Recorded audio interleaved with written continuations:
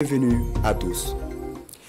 Le ministère en charge de la culture et la Confédération nationale de la culture de Burkina renforcent leur collaboration et le traduisent à travers la signature d'une convention d'un accord cadre.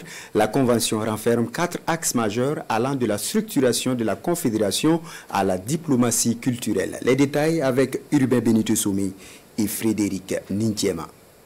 L'acte scelle désormais l'accord de partenariat entre la Confédération nationale de la culture du Burkina Faso et le ministère de la Communication, de la Culture, des Arts et du Tourisme. Une convention par laquelle le département de Rimtalba Jean-Emmanuel Ouedraogo entend s'investir davantage aux côtés de la Confédération pour une meilleure structuration de la société civile culturelle du pays.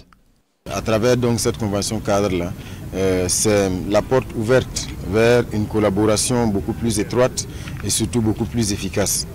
Ça permet également d'avoir euh, un cadre qui permet au ministère d'accompagner la Confédération nationale de la culture à renforcer son assise, à renforcer aussi sa structuration, afin que cette société civile de la culture puisse accompagner efficacement le ministère dans la mise en œuvre de toutes les politiques, que ce soit la stratégie nationale de la culture et du tourisme, mais aussi dans tous les axes d'intervention du ministère. Cette signature est le fruit de l'aboutissement d'un long processus débutant en 2015 dès la naissance de la Confédération nationale de la culture du Burkina Faso.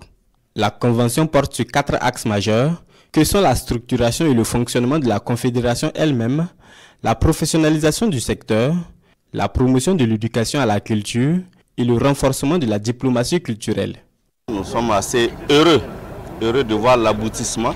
C'est pour le bien-être de tout, euh, le secteur culturel burkinabé. Nos attentes, c'est pouvoir dérouler les axes qui ont été euh, mis dans la convention cadre et pouvoir permettre aux acteurs culturels de pouvoir jouer leur partition en toute sécurité et en toute quiétude. De son côté, la Confédération nationale de la culture marque son engagement à travailler au rayonnement du secteur de la culture burkinabé. Et ce, tant sur le plan national qu'international. Télésphore Bationo compte aussi œuvrer pour l'épanouissement de tous les acteurs du domaine culturel.